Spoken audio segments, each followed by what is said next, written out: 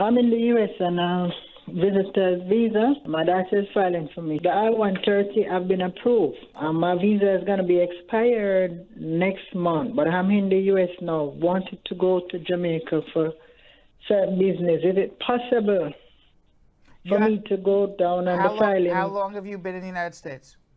I've been here about two months now. And you said your mother filed for you?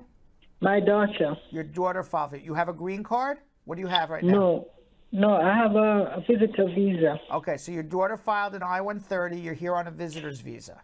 Yeah. How emergent is it that you need to leave now? Because I have some family issues down there that I have to take care well, of. Well, I mean, you could leave and just wait for your green card back home. It'll take about another year.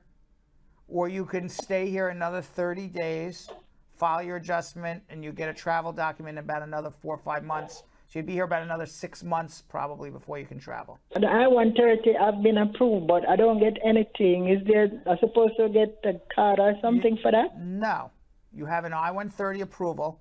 The Mm-hmm. approval is supposed to be transferred to the National Visa Center. Your daughter has to do affidavits of support and everything else for you to pick Mm-hmm. up your green card in Jamaica.